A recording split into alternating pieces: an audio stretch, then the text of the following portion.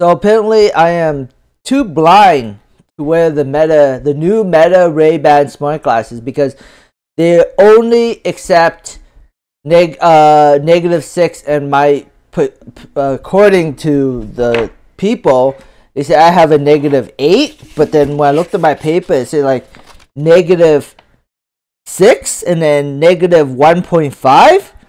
So I guess it's like it is like maybe you just add the two numbers together and it's like negative 8 and they only accept like negative like 7 so kind of sucks.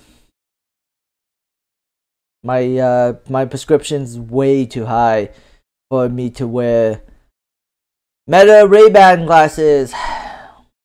Kind of sad because i was looking forward to wearing them you got I'll be honest with you, they don't look that nice. At least I don't think they look that nice. I mean, everybody has their own preference, but to me, I don't really, I don't really like the look of the new Ray Ban glasses. But uh, I still wanted the, I still wanted the.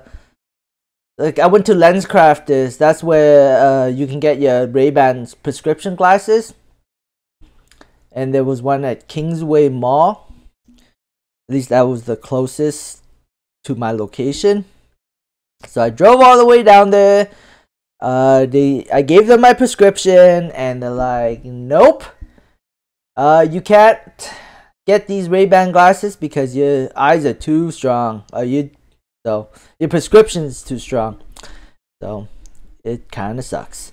Anyways, thanks for watching, guys. I hope you enjoyed this video and have a great day. Bye.